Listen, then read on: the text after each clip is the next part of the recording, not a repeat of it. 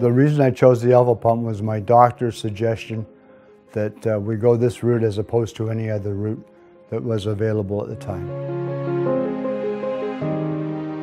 I was going to have the um, ascites tap every couple of weeks, uh, at which point they would take off about uh, six to eight liters of fluid, four hours um, to go through this procedure.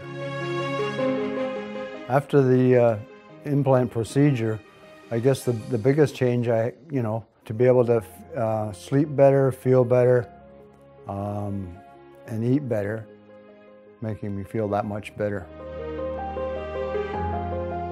My lifestyle has changed 100% where I'm participating in things like uh, darts and cards and, and uh, dancing and, and, and actual partying where, you know, I was not in a, a situation or feel, felt like enjoy that part of life.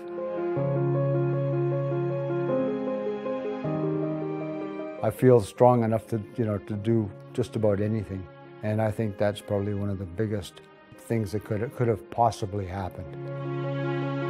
I'm the kind of outgoing person that I have to be able to, you know, um, do things on my own and not have to rely on somebody else.